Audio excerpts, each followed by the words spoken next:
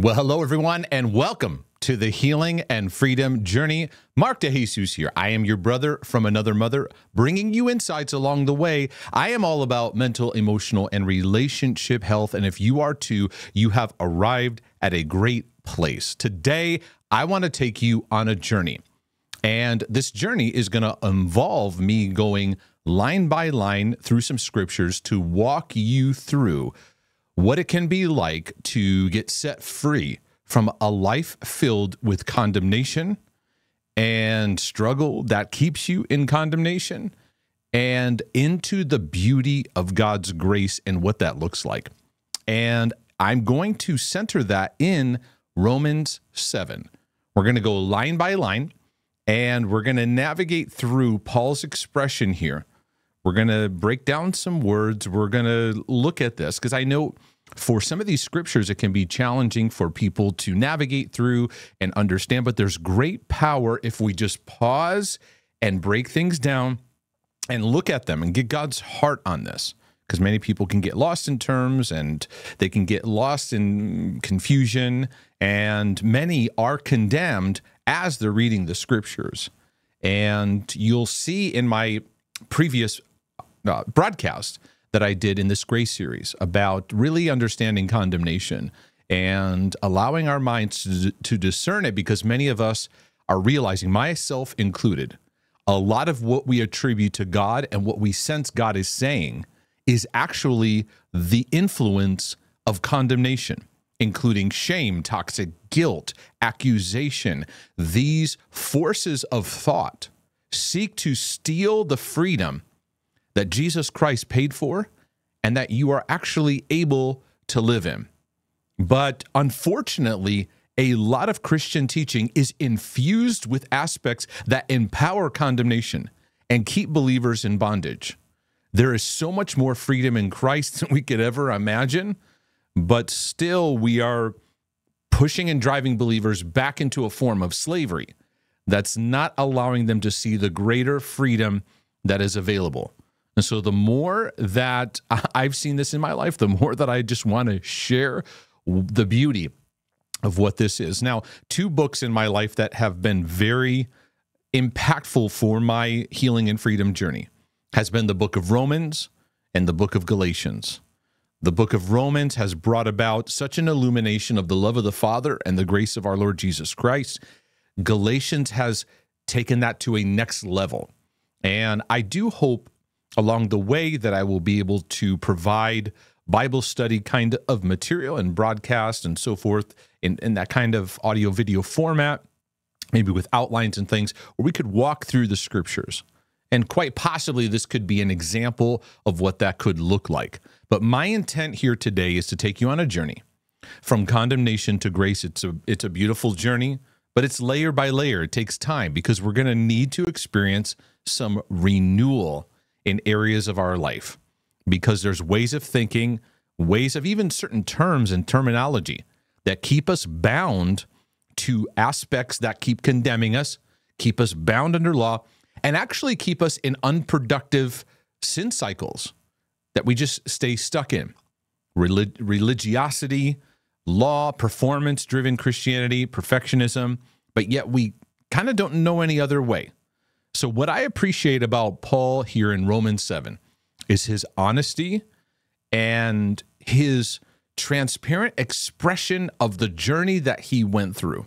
And he's taken the he's taking the Romans here through the process of understanding here. So, without further ado, let me pull up these scriptures here and we'll look here. I'll start with Romans 7. Now, I could go back to 6 there's so much here. He talks about sin and being set free from sin, and he brings the the being bound to something, being bound to sin, and then now being bound to Christ and what we are as servants of Christ. Let me start here with Romans 7, and I'll go line by line here to walk you through. This is something maybe you want to take notes on, maybe something you want to pull out your own Bible and let yourself. I, I typically use the New King James as a place of teaching. Uh, I know that other translations can be helpful in this process as well, but that's where I'm going to come from. So, Paul here is talking about a process of moving from condemnation into grace and the beauty of righteousness found in Christ Jesus. And he starts off by bringing a metaphor of marriage and what happens when you are tied to something that it keeps you bound to relationship with that. Okay. So he says in, in verse, uh, I'll read one through four. Or do you not know, brethren, for I speak to those who know the law. So his audience here that he's speaking to, most likely the majority of the audience are believers, but they are aware of the law.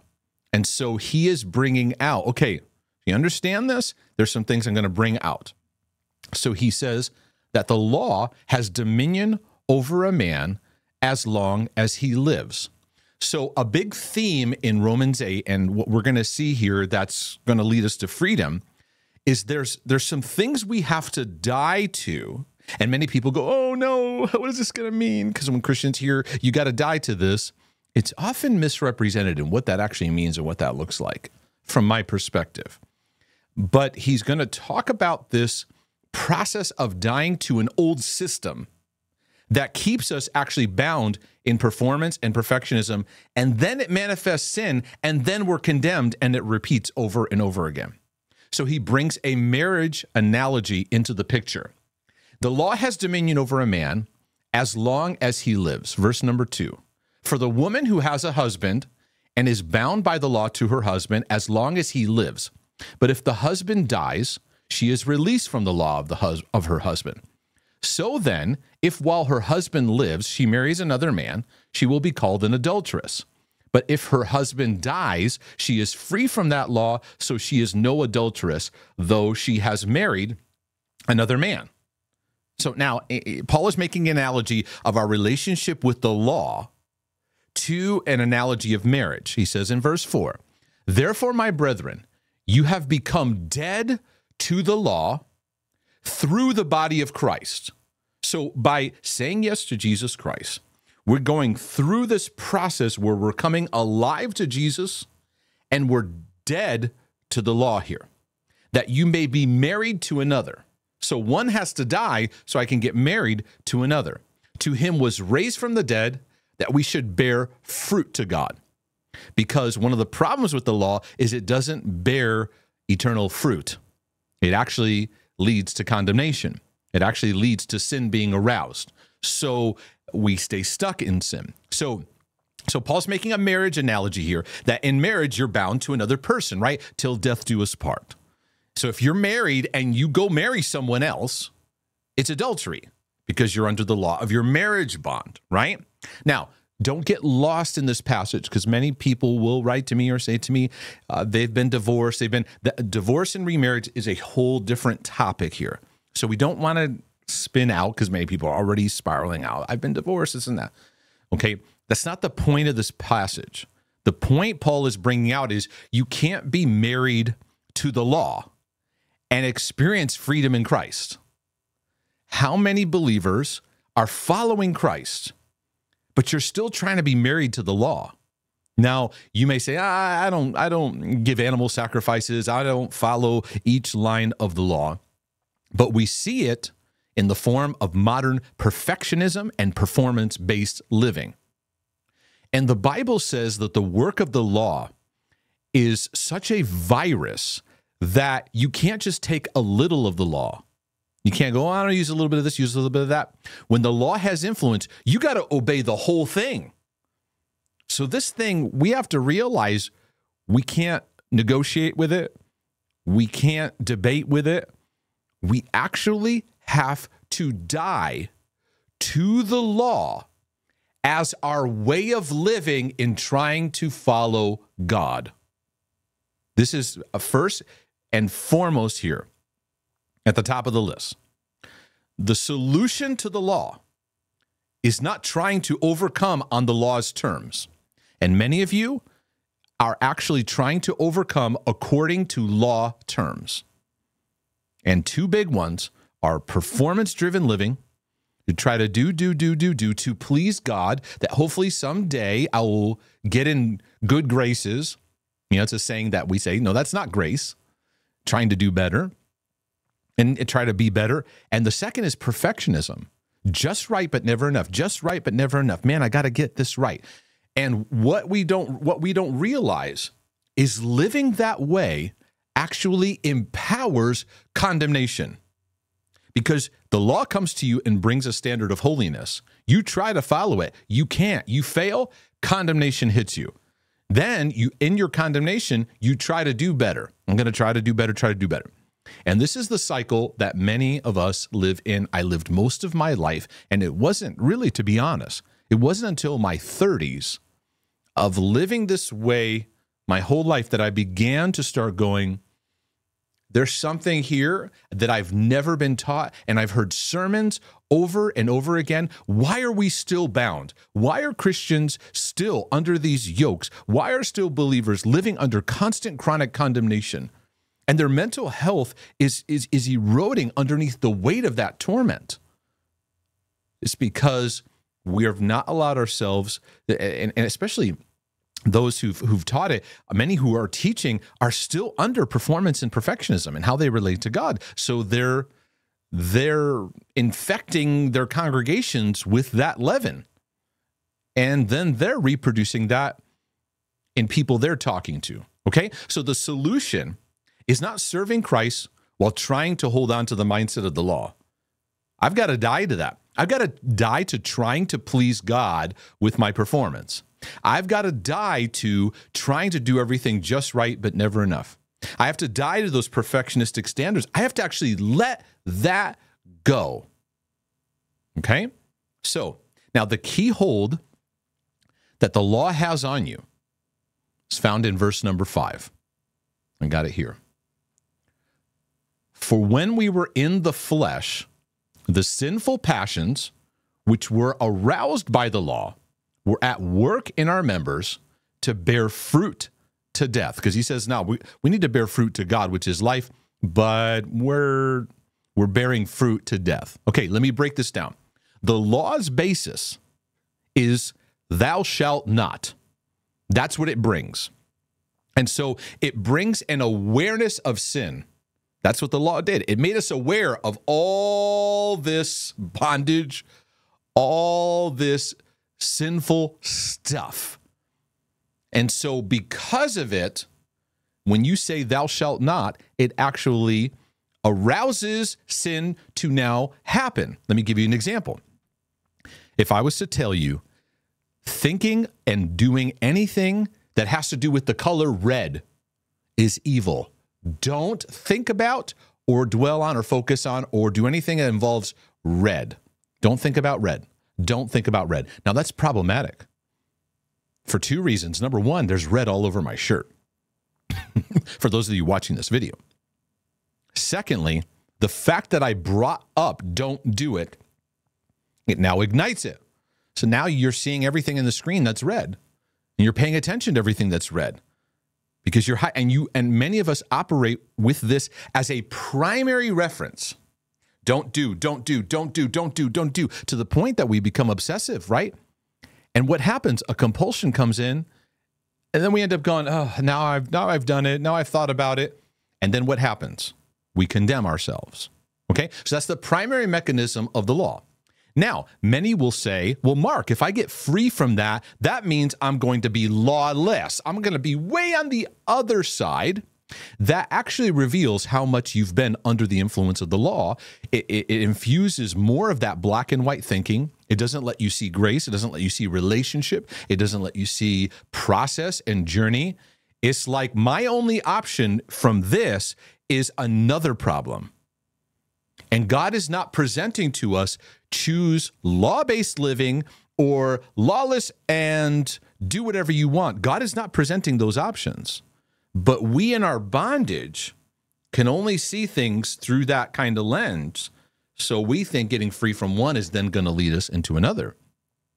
How about we actually see the option of grace instead of looking at the ditches?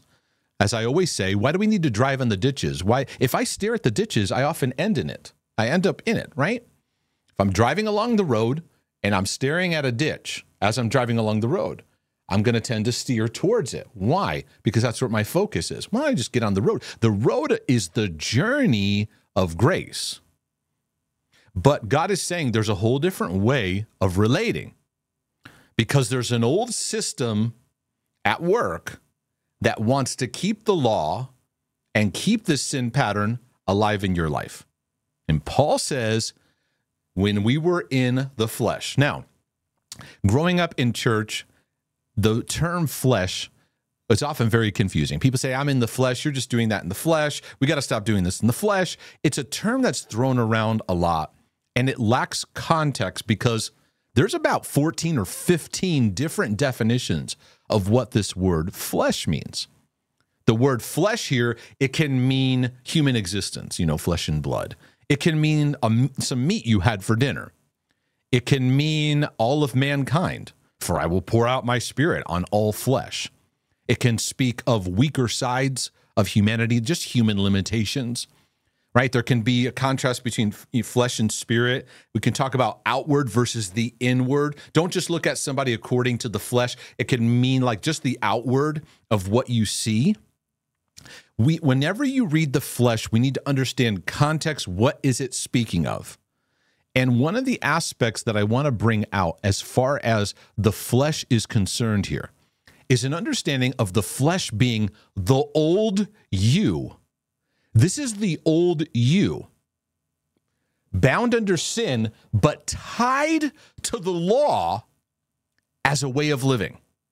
Let this sink in for a moment. The old you tied to the law as a way of living. Because he says here, for when we were in the flesh, the sinful passions were aroused by the law. So, flesh, old you, tied to the old way, the law, which then brings about sin. Old you, law, sin. Old you, law, sin. Condemnation. Got it? You see the four step plan? The old you seeks to follow the law. The law brings about sin, so we end up sinning. Then, in the sin, we're condemned. What do we do? We repeat back to the beginning. We live in the old you, the old you is doing what? Trying to find, when we talk about the flesh here, the flesh isn't just uh, what we would what we would say straight up sin, like like all the list of sins we could come up with. The flesh is the old you that attempts to walk in righteousness according to law, which involves performance driven living, your effort to do better, do better, do better, and perfectionism, right? And then you hope your good outweighs your bad, and maybe God will be happy with me. And then, well, these really bad things, uh, but I, I do these. And in the end, it leads to two pathways. The flesh and the law lead to two pathways. And they are one is a condemnation cycle that you stay in. Or two, you get into a delusion that you've arrived somewhere. Maybe you get a position in church. This is what happens to leaders that are full of law. You get a position and you start to exude self righteousness. Now you start condemning others and you start getting angry and yelling at everybody and telling them where they need to get right and you want to win arguments. And this is where a lot of preachers manifest this. They're infused with law because they're not manifesting the fruit of the Spirit. They're not patient with people. They're not manifesting love, joy, and peace. They're manifesting, I'm right, you're wrong, shame on you, condemnation, get it right. I won the argument. There you go. And then they get people around them that go, yeah, stick it to them. We really have a problem where we're not manifesting the fruit of the Spirit because that's Christian maturity. But it goes back to the cycle. We're still living influenced by the old me. The old me wants to defend myself. The old me wants to get propped up. In psychology, they may call some of that the ego. In psychology, they may call that you know you're getting in you're getting in your your your uh, your ego, or you're sometimes it's brought up by saying the false you. And in biblical terms, we can talk about this as the flesh. It's the old you trying to survive, trying to defend oneself, have a reputation, have a stance of righteousness in this world before God. So if we were to say, Are you right with God today? You would scan to see, Are you sinless? Do you have nothing that you can see? And some people go, Yes, there's nothing there. And they prop themselves up. Others go, Oh my goodness, it's everywhere. And they crumble. Where do you end up finding? Or maybe you bounce between the two. So the solution the Bible gives is you don't fight this, you don't argue with this, you die to it completely. This is why just coming to the end of yourself, learning to let go, to no longer compulsively trying to live by this four step process of death. Old you, followed by the law, rules, and regulations, performance driven perfectionism, which ends up arousing sin, sin manifests, and then I'm condemned in it. And then in my condemnation, I panic and try to repeat, and I go back to over again. Or I end up living a self righteous standing to begin with. When Jesus ministered, who was the group of people he was the hardest on? I mean, this is the group that got him angry. It was the self righteous elite leaders, the Pharisees, the Sadducees, the people who were workers of the law. And so, what they did too, it's understandable living by the law. What they did is they came in and added extra burdens, postured themselves in a picture of self righteousness, and talked down to the people, burdened them instead of leading them in anticipation of grace and making way for grace. Grace showed up right in front of their face and they couldn't see it, receive it. In fact, they crucified it. And I believe that is still at work in the body of Christ today. Because law helps us maintain a sense of control. It helps us maintain a sense of our rules. Here's the box. Keep people in it. You don't follow this box. And then they say, well, well, you're teaching this whatever and go ahead and sin and sloppiness, right? That's another form of deception. When you teach grace, people go, well, what about sloppy grace, right? That becomes a knee jerk reaction. It becomes another round of diluting the beauty of grace that actually has the power to set us free from sin and gives us freedom to live and move and have our being and get out of the shackles of slavery that so many people are living in today. So, again, we're going back to this is the old you. And, and, and this is where sin gains its leverage. Where the body of sin gains leverage is in the flesh, in the old you, and it's through the law. The old you has connection to the law, and that's how it keeps itself alive. The flesh drives humanity to find their existence and purpose apart from the work of Christ. It points back to the law or it points back to you. It points back to your works, how well you're doing. Uh, do you have you got your devotions right? Did you read your Bible today? Did you get those things? Checkbox, checkbox, checkbox. You're constantly checking off the box. This is the old you, the flesh that wants to justify itself in a sense of goodness based on good works and intentions. That's why Paul's, you know, Paul's saying we got to crucify the flesh because this is what is going to lead us into this cycle. We hear crucify the flesh as crucify those bad things. God, crucify those bad things I'm doing. Crucify those bad things. If we go over now, bear with me. Let me go over to Galatians for just a moment. I'm gonna, I, I, I'm not going to do too much bouncing to other passages of scripture because I want to stay focused here. But this is this is this is where I focus on Christian maturity because Paul says the works of the flesh are evident. Adultery, fornication, uncleanness, lewdness, idolatry, sorcery, hatred, contentions, jealousies, outbursts of wrath, selfish ambitions, dissensions, heresies, envies, murders, drunkenness, revelries, and of the like, which I tell you beforehand, just as I told you in times past. Those who practice such things, he's speaking about those who practice this as a way of life and they say it's acceptable. They they even promote it for other people to do it, and they they uh, contaminate other people with this. Such things will not inherit the kingdom of God. What we often look at as crucifying the flesh, because he says in verse 24 down there, those who are of Christ have crucified the flesh with its passions and desires. This is the way that we typically think of it. All those bad things, don't do it, crucify it. I crucify drunkenness. I crucify murders. I crucify uh, outbursts of wrath, selfish ambition. I crucify it. No. You're crucifying yourself to the old you, which followed the law. Thou shalt not, thou shalt not, thou shalt not, thou shalt not, thou shalt not. I'm a good boy. I do good things. I'm a good guy. I do these great things. I, I follow God. I do my devotions. It leads to these things happening.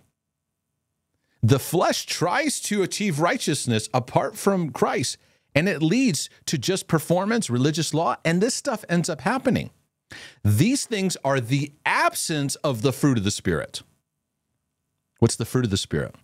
Love, joy, peace, long suffering, kindness, goodness, faithfulness, gentleness, self control. What does he say here in the next sentence? Against such there is no law.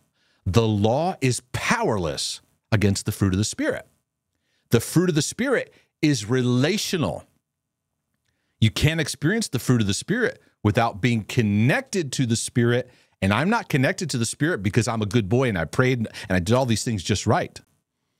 It's by God's grace I said yes and received that sacrifice that Jesus paid on the cross and resurrection.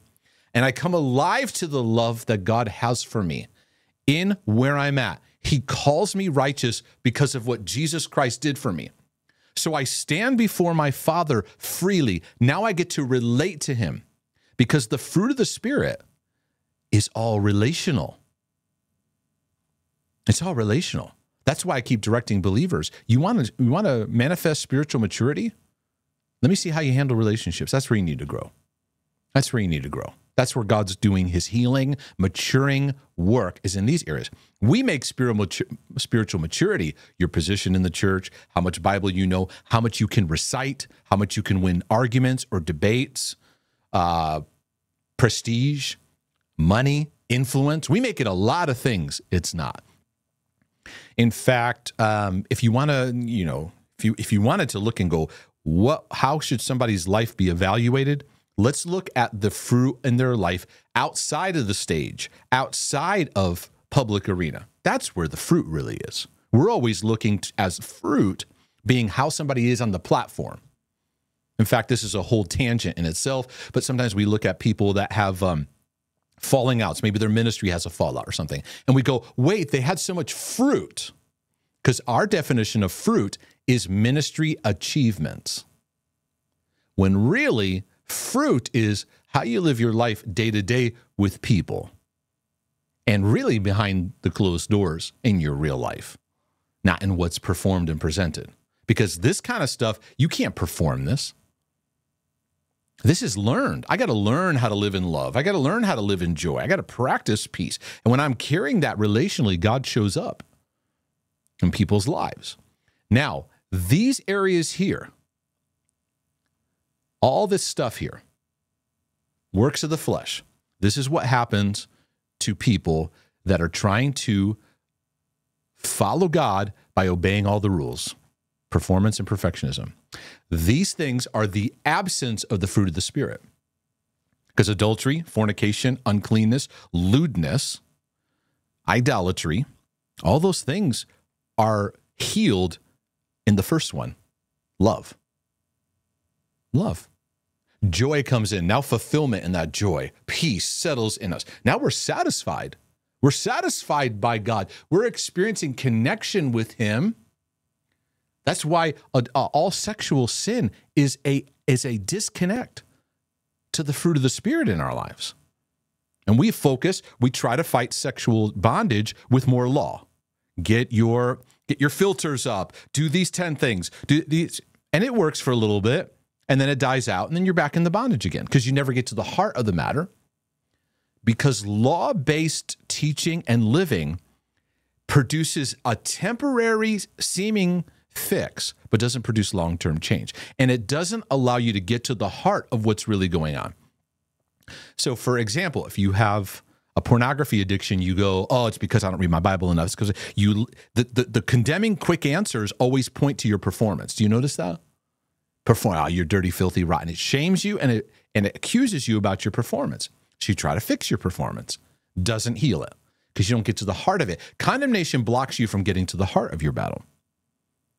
And so these things reveal so we get into idolatry sorcery that is now now it's the the work of the flesh and law and performance we're getting distracted now from the beauty of Christ and getting into all these other pathways to make ourselves try to get peace, try to be better. And then you just see a whole list of relationship breakdown hatred, contentions, jealousies, wrath, selfish ambitions, dissensions, heresies, envy, murders, drunken. It's just the Wild West is happening. But it doesn't start with people going, I'm going to be evil. No, no one starts off that way. We start off in the flesh, the old us. When I say yes to Christ, there's a new me that opens up, right? Coming alive unto God. The old me which then tries to in the law, I'm gonna be a good person. And that's a prevalent mindset. I live in the United States. That's a prevalent mindset in America. I'm a good person. I haven't murdered anyone. I pay my taxes. I do nice things for people. That's flesh talk. That's old you talk. That's that's that's how I feel good about myself. I do those things. Paul says, die to all that. Paul even to the point looked at all his all his um his accomplishments in Pharisaical leadership. And he goes, ah, he's just. And then he even looks, he looked further at, at, at, a lot of things he could prop up. He's like, yes. He's like, ah, it's just, it's, I, I don't, that's, that doesn't prop me up. What, what, what I stand on is the excellence and beauty of Jesus Christ. So this is all relationship breakdown. This is why the church is filled with all this and divisions and all this stuff. And what we're missing is the fruit of the Spirit. You can't teach the fruit of the Spirit under law. You just can't. And the modern church has so much law influence of perfectionism and performance because this stuff is messy. If you learn how to love people, you move towards messiness rather than just yelling at people, judging them, and condemning them away. If you want to teach people the fruit of the Spirit, you have to learn joy. And many of our church services are the most joyless places on the planet. How did that happen?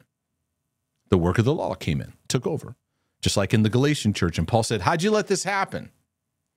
The fruit of the Spirit is going to bring peace to people's lives rather than keeping them in anxiety. The problem is, is that a lot of our preaching keeps people in anxiety because anxiety gets them to do stuff.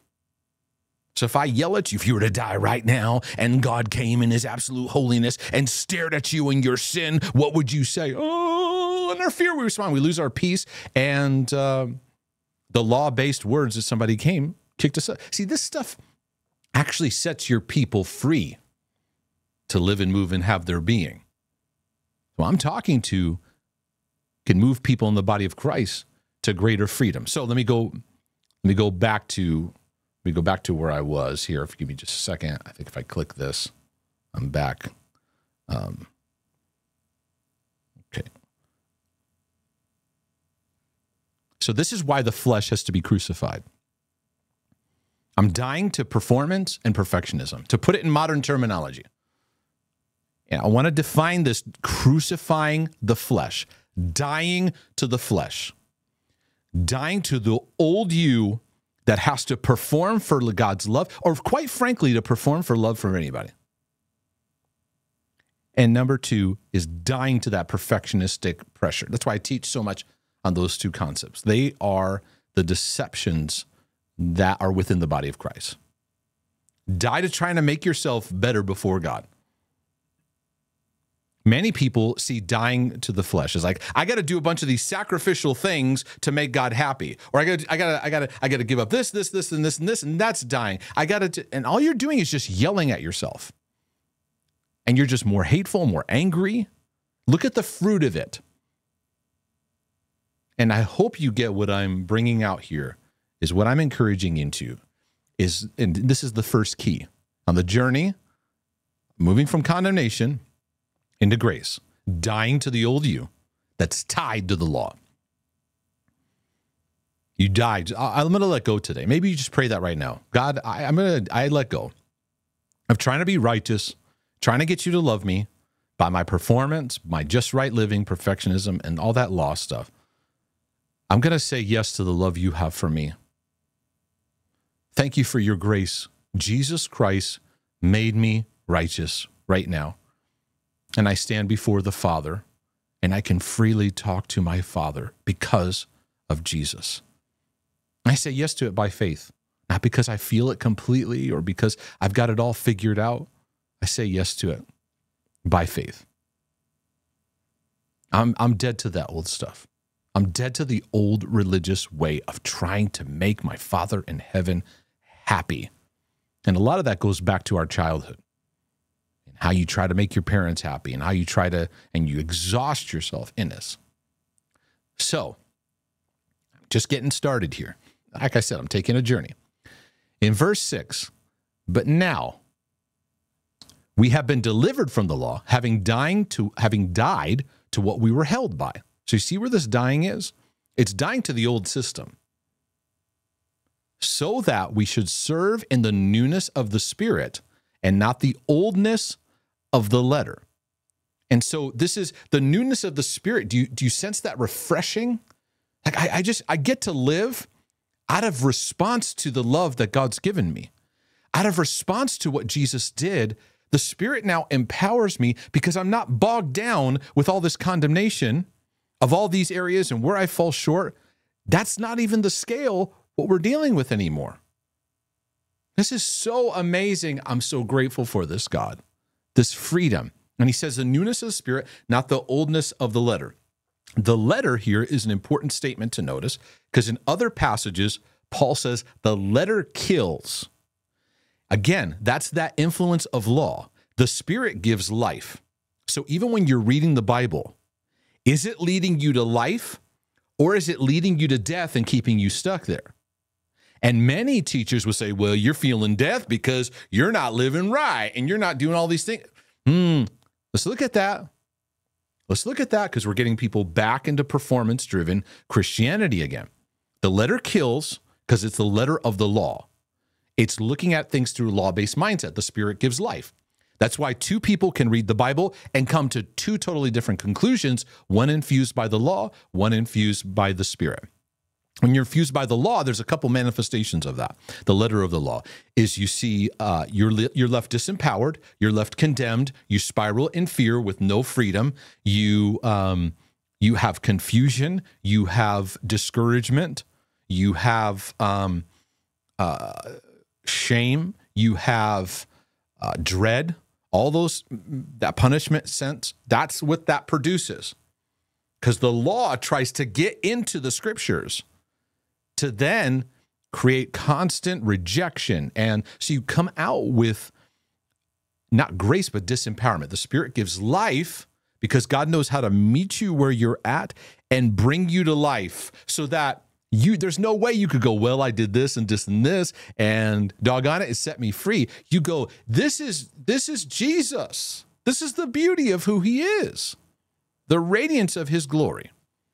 The spirit brings newness from from the bondage of sin from obsessing over sin from being condemned over sin but freedom to live and move and have your being freedom to walk forward, knowing that your righteousness has been paid, and now you grow in that righteousness. So, what happens is that you grow in connecting to what you already have instead of trying to go out there and find it. It's already at work within me. So, the way that this works is when I say yes to Christ, I spend the rest of my life discovering what I said yes to. Many people in their they don't let the room for discovery happen. They expect themselves to get it all down. and it creates this impossible standard and that's influenced by the law. It's like they're trying to get saved by the influence of the law. No wonder it's confusing. So then this creates two patterns that I see in the church. One pattern is your salvation is probably invalid. And that's sending more and more people to absolute mental illness. And we've got to, we, churches, we need, we need to really get aware of this because we are putting people in bondage by because of what we see in their life we're invalidating their salvation rather than teaching them and working on their discovery of the beauty of what they said yes to or you have another camp that goes well you lost it you lost it you had that salvation and now you lost it as though it's a, a piece of ice that just slips out of their fingers when I was a kid, I was sitting in a boat with my dad, and we were going out. I want to say it was a it was a saltwater lake or lake or, or one of the that was connected to the or something, it, or maybe it's just a big lake. Anyway, we were on the boat and we were at the dock, and they were getting all our lines ready, and I had my fishing pole, and I was sitting there, bored kid, waiting for waiting for the guys to get all their stuff ready. So I took my rod, and it had bait. My dad set me up with bait, and I just let the bait just go into the water. As I'm sitting there, all of a sudden, oh my goodness, I'm pulling with all my might. My dad looks over, sees I caught something just sitting there at the dock, having uh, in the boat, tied to the dock. They hadn't let off yet in the water. My dad helps me, pulls it out, and it's an eel. This long eel. And I'll never forget it. it's just kind of, my dad just kind of went into action. And he just grabbed that eel and he's going like this.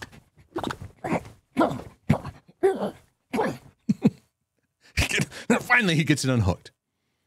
And for some reason, I have that uh, metaphor, that analogy in my mind with many believers over their salvation. This, like this, like this eel that's just. As those, that's the salvation is just this.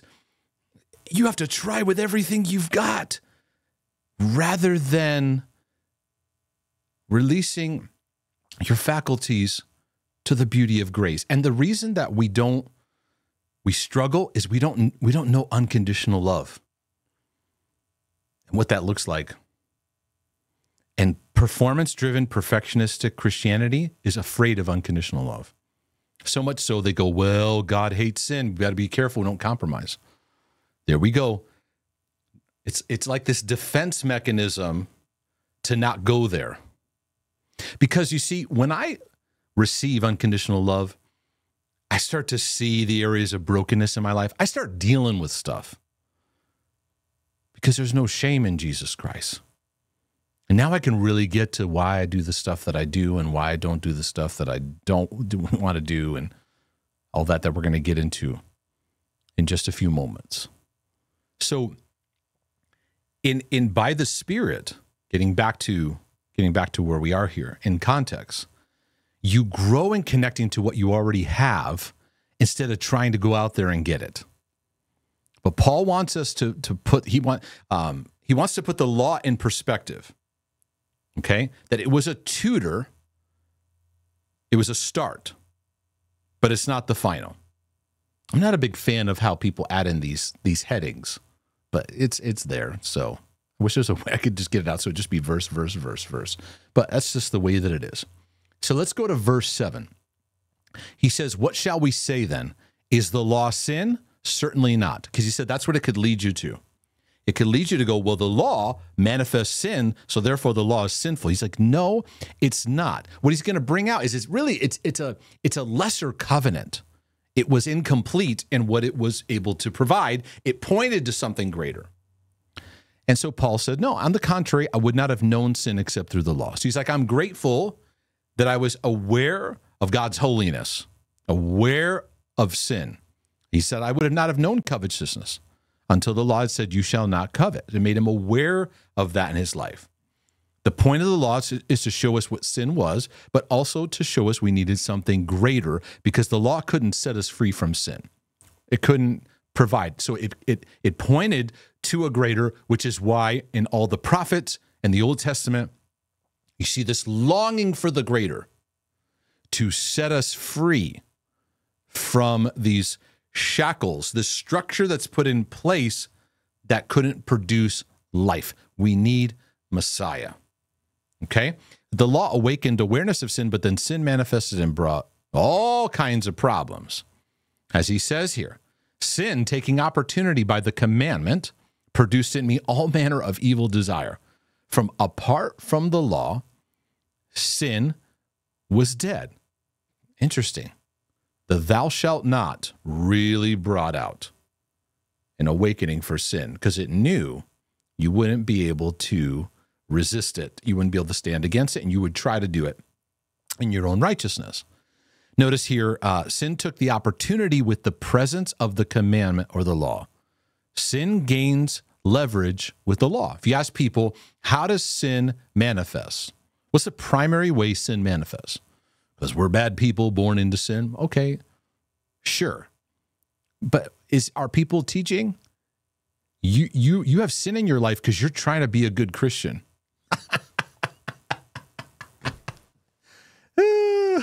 no one's teaching that. Oh, Pastor, I'm struggling with, with sin in my life. Yeah, because you're trying to be a good Christian. Why don't you let go of that? Just stop trying to trying to do that because you're loved right now where you're at. Wait, no. Hey. Wait, wait. If I uh, grace, does that mean that mean I should go sin? And Paul covered this. He covered this twice. Shall we sin more that grace shall abound?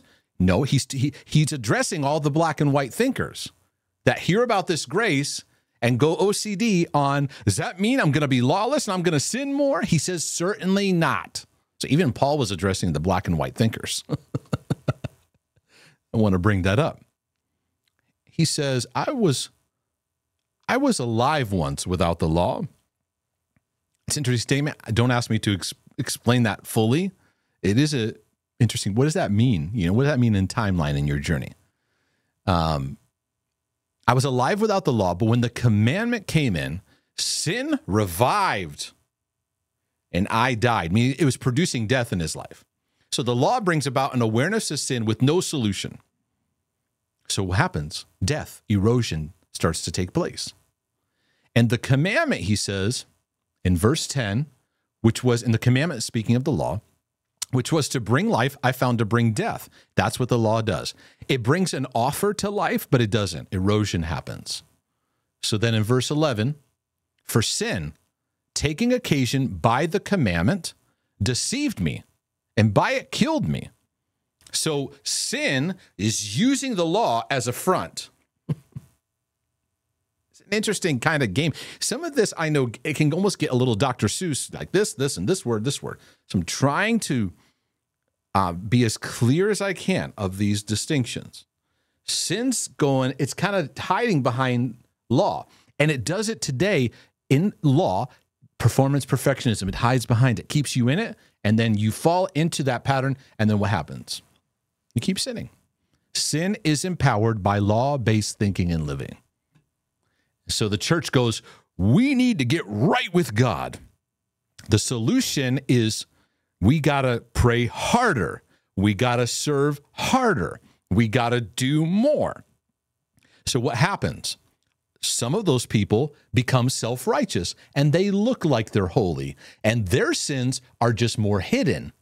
Then there's others that are just struggling and struggling and struggling. They seem they're unspiritual. And then we just go, oh, you're just in the flesh because we've not taught them the flesh is the old them that gets power from the law. Are we setting our children, uh, brothers and sisters, children of God, free by getting them out of performance based living? Therefore, he says in verse 12, the law is holy, meaning that what the law do? The law brought about sin, it showed you sin, and it showed this absolute holiness of God that's unattainable under the law. Okay? The commandment holy and just and good. The law brings holiness in no way for you to experience it or to gain freedom. Okay? So let me skip past that heading here and go to verse 13. Has then what is good become death to me? Certainly not. See how, like, there is, Paul does a couple things. He kind of uses wordings that go back and forth. You kind of have to go, wait, you have to slow down. And and then in other passages he writes like a, in Ephesians he writes a lot of run run on sentences that you have to take a you have to take a few breaths as you're reading it. Has then what is good become death to me? Certainly not. But sin, that it might appear sin, was producing death in me through what is good. Again, it's got the law here as like a cover. It's using it as eh, that. That's why when Jesus talked to the Pharisees, says you're, you're whitewashed. You got this cover going on, but behind it is, is a work of sin. It's a religious front that's going on, but it's producing death through this front. Okay? Because the, the enemy, sin, doesn't just show up and go, hey, want to murder people, want to have sex everywhere. It's not what it does. It doesn't start off that way. It starts off with, I'm a good person and I do good things. And uh, because of that, that's why we got to let go of that, like trying to, like, I'm trying to be good. I'm trying to make God happy. It was producing uh, uh, is producing death in me through what is good, so that sin through the commandment might become exceedingly sinful. The law is not sin, but the law was inadequate and it became a cover for sin to work because we would, thou shalt not, and performance perfectionism. And so he says the law, we know the law is spiritual. It brings about a spiritual grid. But he realized I'm I'm carnal. I'm sold under sin. Okay, we can look at that word carnal. Um, but in body, temporal, animal, unregenerate. It can mean of, of, of, the nature of the flesh, right? Sometimes carnal flesh can be used, governed by mere human nature, not the Spirit of God, having its seat in the animal nature, aroused by the animal nature, human, with the included idea of depravity, okay, uh, pertaining to the flesh, to the body. So those those are those are a couple things here that kind of bring word to that carnal, uh, a sense of life without God, uh, more in just earthly existence without a spiritual lens. Okay, that's kind of when I when I think of carnal, it's earthly existence without a spiritual lens. Because he says here, and it fits in the context. He says the law is spiritual, and he's like, I'm carnal. The the the and the flesh will do that too. The flesh seeks to the old you seeks to find righteousness on your own and it, it it just keeps things in natural world and does and forgets we're in a spiritual battle. We wrestle not against flesh and blood. Okay, there's that term flesh being used here, the spiritual lens. Okay, so you get that. Hopefully that helps you a little bit. Sold under sin. Now, we're about to get super honest here. The Apostle Paul, who is written, inspired word of God, is about to get really, really honest. He says, For what I'm doing, I do not understand. For what I want to do, that I do not practice. What I hate, that I do. Now, I think if Paul preached today, he'd probably get kicked out of a lot of churches and be called a false prophet or be called, I don't know, disqualified or something, right? A lot of, can you relate to this, though?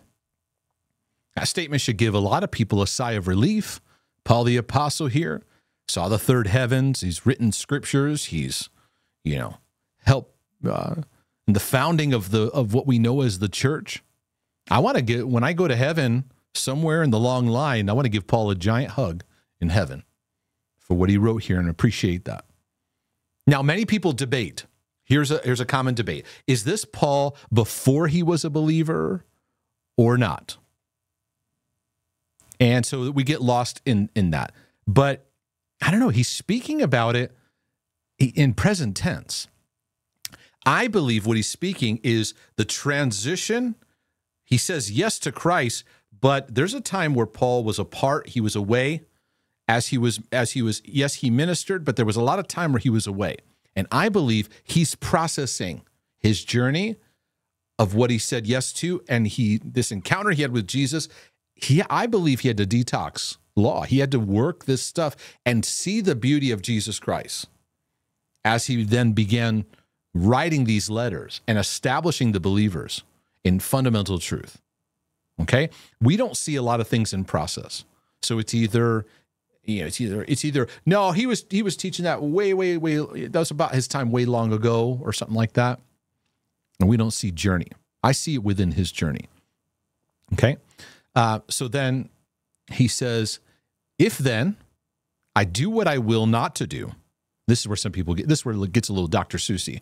If then I do what I will not to do, I agree with the law that is good. Okay, let me try to say this uh, in a helpful way.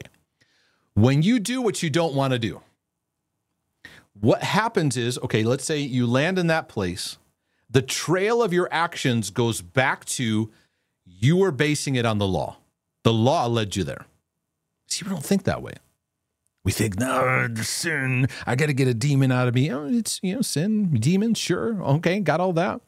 But he's he's saying when you're landing in that place, you're let's get to your heart. Your heart is saying the law is good. And and to put it in modern terminology, perfectionism and performance, you're saying that's good. We got to do that. Yeah, yeah, yeah, yeah. The way that I, you know, I put that effort in, I do that good stuff, and I pray this way, and I read my Bible this way, and I do these things, that puts me there.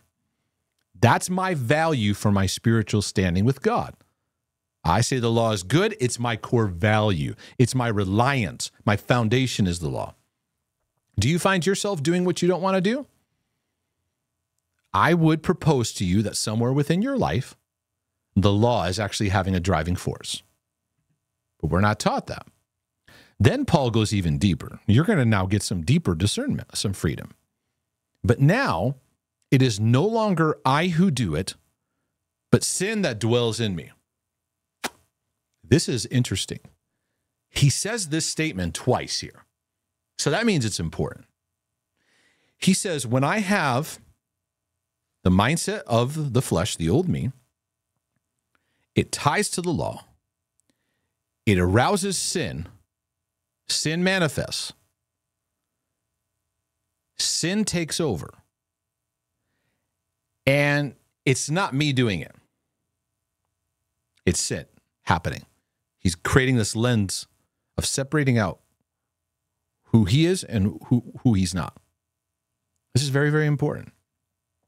Now, when you read this word sin, there are typically there's like three or four words that are used when we talk about sin.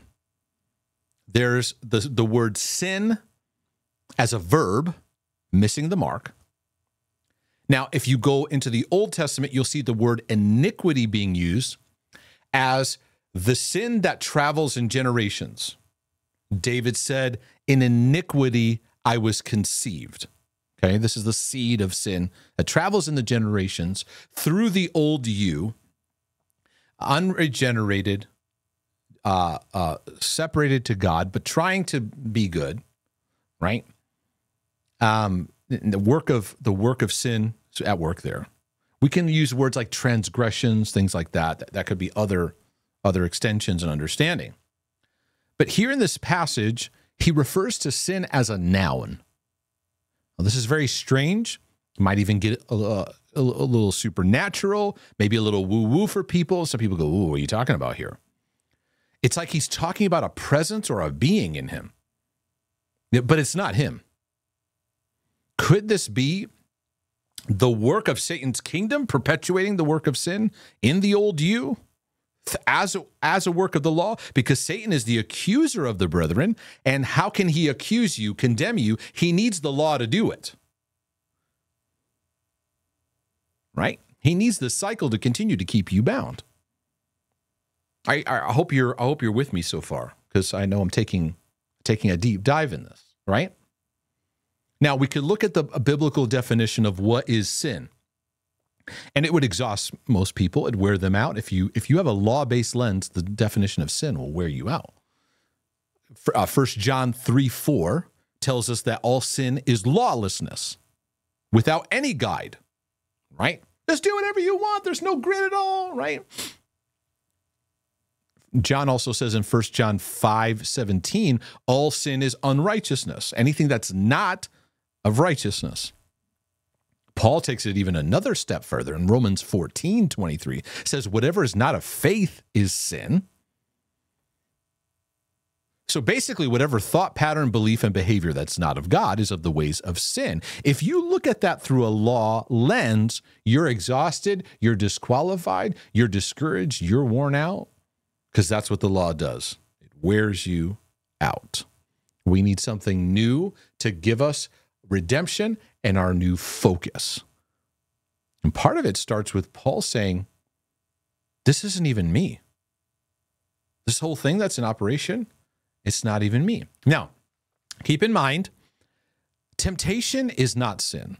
A thought showing up is not sin, even if it creates a feeling. It's not sin.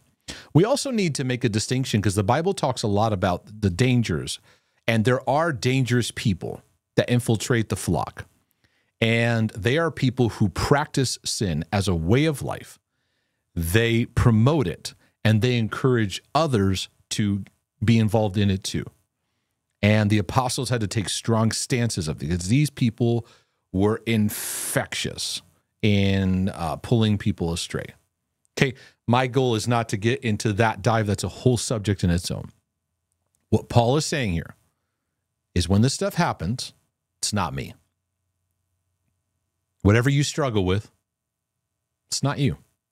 More on that in just a moment. Verse 18 For I know that in me, that is in my flesh. Well, that's an interesting distinction. In the old me, nothing good dwells. So I'm not going to try to rely on that. I'm not going to try to prop myself up, do good, be better. I'm going to die to that because there's nothing good there. Okay? It's depraved, it's filled with sin, and it, it's self righteous. On its best day, it's self righteous. And that's of sin too. So let's just let it go. He says, even to will is present with me, but how to do it, I cannot find. So he goes, I have a desire within me to do good. But how to do it in that place, I can't find it. In that old me, in that flesh place, I, I just can't. I can't. And it's a, I think it's a healthy place for us as believers to realize that in the old you, there's nothing good there. So stop trying to stand on that. I'm a good person. I do good. I pay my taxes. I do good things. I read my Bible every day. Because Paul says, I can't even find the how there. I have a I have a desire for good. And I believe that as believers, we have a desire for good. And, and I believe even in humanity, there is within humanity an inward desire towards good. And the conscience pulls on that. I had a whole teaching on the conscience that was meant to lead us to Jesus Christ, our need for Jesus Christ. And so, but what mankind does, and this is a work of the flesh, is we seek to find it through the mindset of the law. I'm a good person, these rules and these, these things. And that's what I'm saying over and over again. We're learning to die to. So he says, For the good that I will to do, he's repeating himself. This means it's important. The good that I will to do, I do not do, but the evil I will not to do, that I practice. And how many of you relate to that? Raise your hand. So the struggle, if you relate to that, it's revealing the struggle of the influence of the law is at work. This is why detoxing the law is so important. So he says, Now, if I do what I will not to do, it is no longer I who do it, but sin that dwells in me. So, a key number two, the first one that I brought about is dying to the old you that is tied to the law. Key number two on the journey of condemnation to grace is separating out who you are in Christ and understanding what is not you. So, for example, in my journey, I realized now this this condemns many believers. They go into shame and they spiral. When I read whatever is not of faith is sin, something clicked in me one day. I'd read it before. It dawned on me. Fear is is is of sin. This isn't of God. Now, most people go, "Oh, it's sin. I gotta, I gotta repent and apologize because I felt anxious today." No, no, no. They go into that condemnation cycle. I was awakened, and I go, "This isn't me. This isn't me. God didn't make me to be an anxious, panic-filled person. I don't have to be condemned in it that I'm struggling." And I'm not going to use the law to go, let me do better, let me do better, try, try harder, try harder, try harder. Because if I'm not condemned, then I can actually see this battle through God's lens perspective and I get illuminated of what's really going on. See, most most uh, Christians can't get free because they never get the chance to see what's going on in their heart and life because they are filled with condemnation. Condemnation doesn't let you see it. You're just the shame of it is is uh, I even call them shame attacks. It's it's like you're drowning. You can't even see you can't even see what's in the water because you're just drowning. When you take condemnation off, you see it soberly, and God will help you get to the heart of what's happening through a journey. So, this anxiety is not of God. Now, I don't have to hate myself for struggling. That's going to bring me back to law based thinking. Okay? Now, what condemnation does is it causes you to see yourself as one with your battles. Do you understand what I'm saying? You don't just have this struggle, you are that struggle.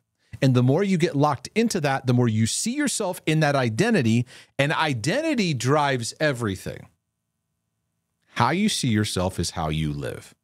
if you see yourself as a shameful, rotten, terrible, awful person, what you're doing is you're looking at yourself through the flesh, the old you. You're not seeing yourself in the new you because if you see yourself in the new you, you rejoice in gratitude. Wow. Thank you. Thank you so much, God. Thank you. Thank you, Jesus. This is incredible. What a beautiful treasure that you've put in an earthen vessel that you've given me. And yes, there are battles, but without condemnation, you see them in divine perspective. You see God's healing work, and He'll help you get to the heart of that battle to lead you into greater freedom. Now, when Paul makes this statement, he's not advocating responsibility. You know how some people are like the devil made me do it, right? And and and what they're doing is they're pushing away responsibility. No, he's not pushing away responsibility. He's recognizing what's at work and he's seeing it through a non condemning lens because where we're going is a no condemnation zone. That's where he's being led to. Okay? Verse 21 I find then a law that evil is present with me, the one who wills to do good. No, I want to do good, don't you? He says, I for I delight in the law, according to the inward man. Now, I personally believe, and this is where sometimes we got to pay attention to words. When he says law of God, I don't believe he's saying the law, the Old Testament law. He's talking about the ways of God, right? It's kind of a little bit of a, a, a shift here. He's like, I, I delight according to the inward man. Okay, that's that's been renewed. I'm a new person now, and I'm on a journey of getting to know that. Do you know that you're on a journey of getting to know God, your Father, but getting to know the real you? the new you, right? Happened in a moment in a prayer, but you're spending your life getting to know that. I'm getting to know the new Mark. He has a new name, a new identity, a new destiny, a whole new spiritual DNA.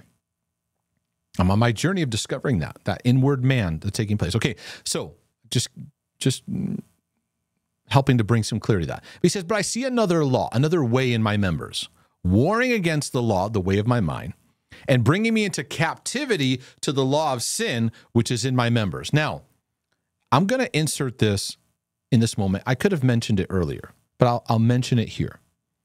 I think that what I appreciate so much here, and this is key number three, is just being honest about your struggle without shame. Listen to him here. He's just being so honest about his journey. And this guy is Apostle Paul. Okay? This isn't just, you know, some guy in the church that doesn't have any authority influence. It's a person of high level influence. We hold them in high esteem and, and, and, and appreciate of his work as a work of the Holy Spirit but he's honest. And I think when you when you get free from condemnation, you see your battles the way you need to see them. So you're not trying to live your life to present something you're not. You're not trying and, and, and so much of that is in our world. You see yourself in journey and you see God's heart and his perspective because when you're under condemnation, you get distracted. Oh, I got to fix this, I got to fix this, I got to fix this, I got to fix this. And God's like, yeah, I know about all of that and a hundred and a thousand other areas. Here's what I'm working on over here. And a lot of it's simple, fundamental things growing in layer, layer, layer by layer. The beauty that's here in this authenticity. I can't emphasize that enough. So he says, I, I, I see this, this tension, these two mindsets, right? And the sin which which the, the sin which is aroused by law, and the law is aroused uh, in connection to the flesh, the old you. These this this is all working in operation. There's a new me, which the basis is now righteousness in Jesus Christ, giving me a new me, a new identity. So now my focus is the beauty of his righteousness, producing fruit of the Spirit, which is relational. So he's not condemning me. He's not holding sin over my head. He's not holding anything over my head because that's what condemnation does. It's like God's sitting there in like resentment over you. He's patient, he's kind, he's gentle, and he walks with me in the journey.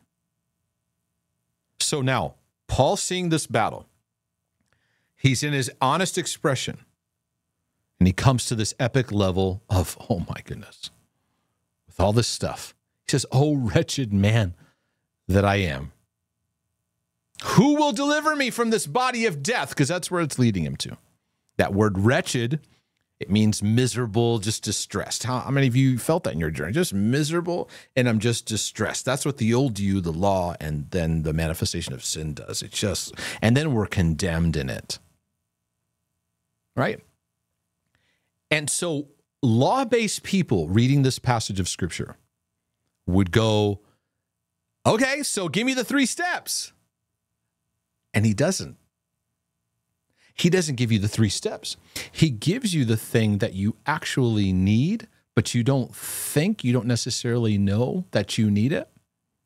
He says, I thank God through Jesus Christ our Lord that he came to deliver me. So then, with the mind, I serve the law of God, with the flesh, the law of sin. So the mind a renewed mind. I'm i'm serving the ways of god. The old me is going to get trapped into sin but the old me gets trapped into sin through law-based living. It's his primary mechanism okay?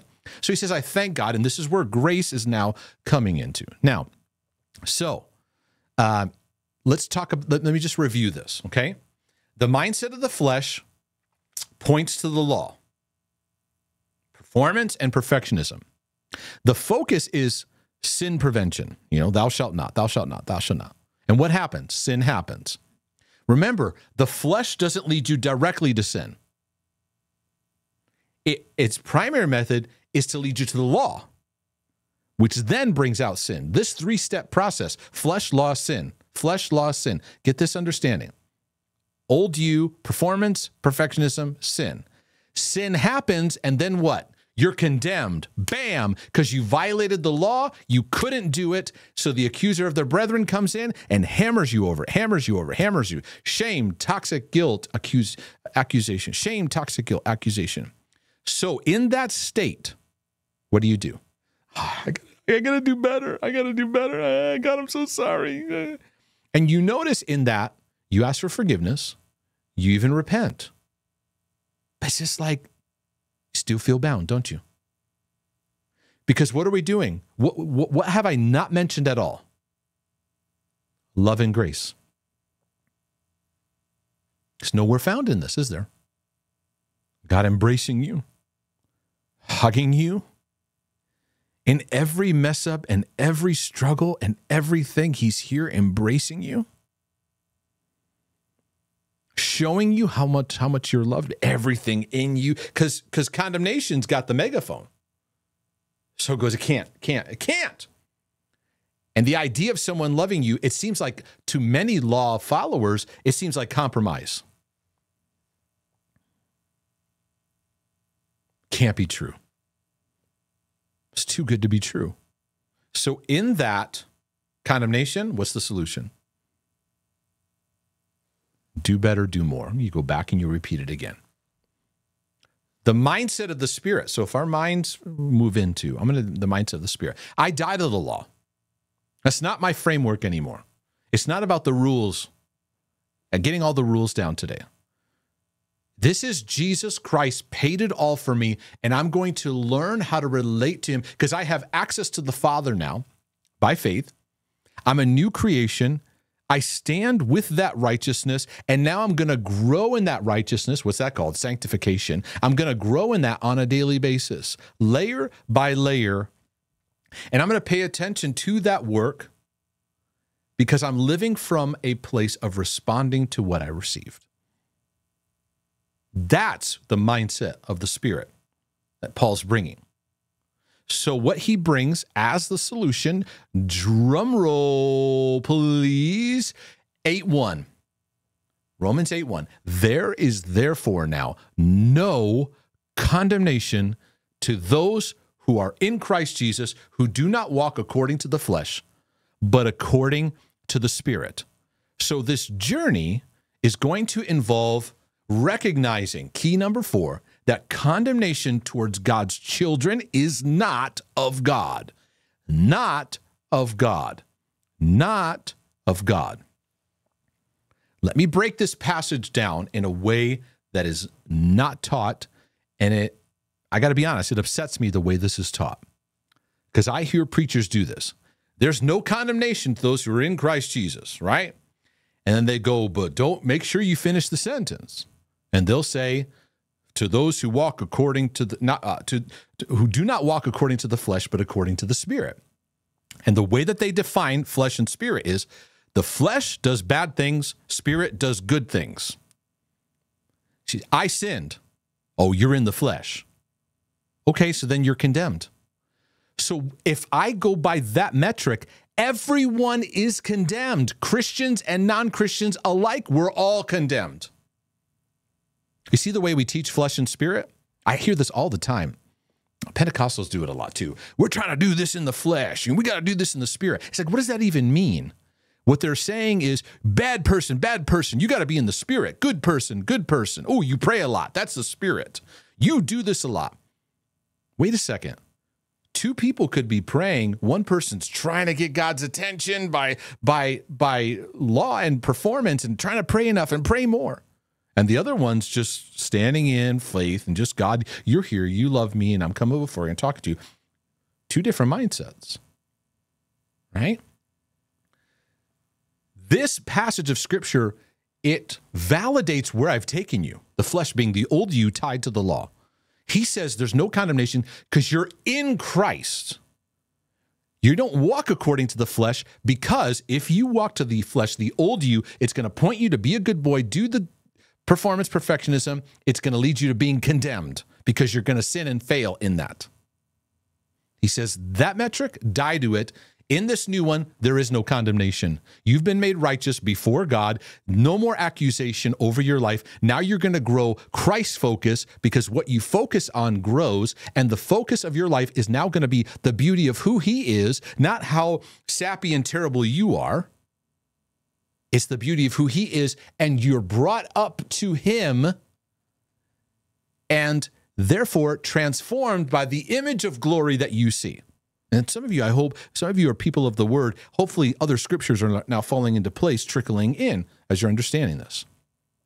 So, God does not condemn you in order to teach you, He doesn't use it. When you when you live when you manifest sin, there's usually an influence of the law that's there trying to keep you trapped in that cycle. Condemnation comes to your door. So if you feel condemned, the first thing you should do is go, Where am I trying to live in performance? See, we don't do this. Where am I trying to do things just right? And I'm living under the pressure of that that can never be fulfilled. And I actually need to go to God, you unconditionally love me. And Jesus Christ, you gave me a gift of righteousness. I want to be renewed in that. You can't see yourself the way God sees you when condemnation's in the picture. Okay? So many of you are getting out of that sin and condemnation cycle that leads you to, I'll never do it again. I'm going to try harder and try harder, and you fall into it, right? You start by learning right now. You want to make the change in your journey? Start by learning to be loved by the Father through the work of Jesus Christ, saying yes to Jesus Christ, the grace that leads you to righteousness in Him, and being loved by the Father. This opens up the work of grace, His empowerment starting to work in your life. So God says you got a new foundation, new Father, new family, new identity, new standard of righteousness now. I've given it to you. Now learn to live it by growing that in your life. That's the work of grace. It's going to grow that awareness of Jesus Christ in your life. So the focus of your journey is not sin obsessed. I got to make sure I don't do. I make sure I don't do. That's gonna it's gonna lead you to more bondage again.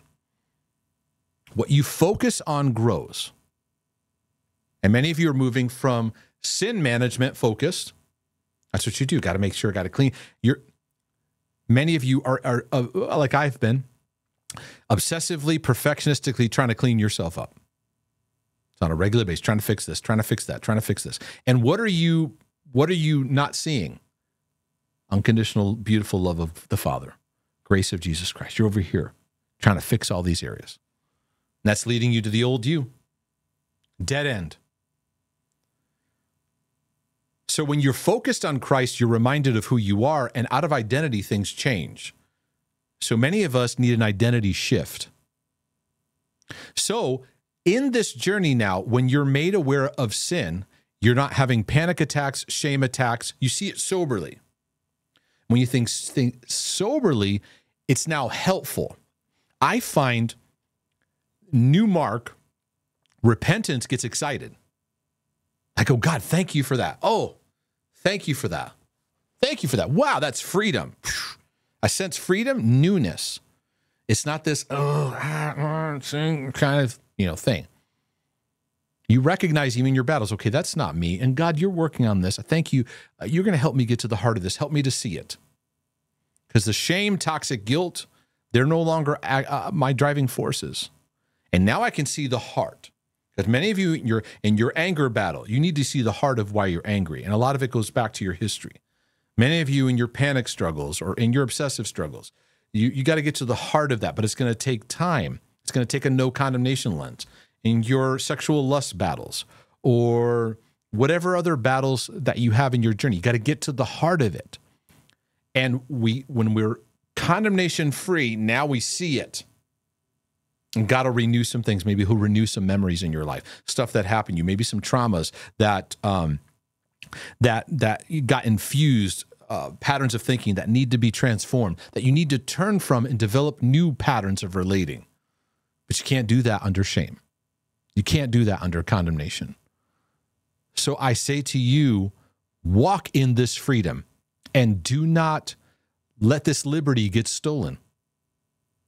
And this is what Paul preached that don't get tangled by the yoke of bondage. The yoke of bondage was the slavery of law based thinking and living. For the law of the Spirit of life in Christ Jesus had set me free from the law of sin and death. For what the law could not do, and that it was weak through the flesh. Just, just highlighting this here. For what the law could not do, and that it was weak through the flesh. You see this law flesh tie? Law flesh, law flesh, law flesh. Law old you, performance old you. God did by sending his own son in the likeness of sinful flesh. Now, this is where the word flesh shifts, change, where human being looking like us. Okay? He walked amongst us on account of sin, he, con- he condemned sin in the flesh so that you're not condemned. That the righteous requirement of the law might be fulfilled in us who do not walk according to the flesh. I don't walk according to the old me tied to the law, which then manifests sin. For those who live according to the flesh set their minds on the things of the flesh. All those things I talked about but those who live according to the Spirit, the things of the Spirit. It does. Many people interpret this to mean things of the Spirit. I got to be spiritual. Okay, I got to pray a lot. I got to do a lot. They're, they're like still doing law stuff. Things of the Spirit bring freedom. Jesus paid it for you. Step into it. Righteousness is on you. Step into it. Live in it. No, he's not nagging you. He's loving you through it. Fruit of the Spirit. Fruit of the Spirit. Fruit of the Spirit. And by the way, that pathway will set you free from so many areas of sin that you tried over and over and over and over and over again. Okay. For to be carnally, I'm going to go a little bit further here. For to be carnally minded is death, but to be spiritually minded is life and peace. Because the carnal mind is enmity against God, for it's not subject to the law of God, nor indeed can be. So then those who are in the flesh cannot please God. See? The old me can't please him. So I give it up. I die to it. And he even says here for those of you that have OCD, he's like, You're not in the flesh. You're like, Oh, am I? You're in the spirit.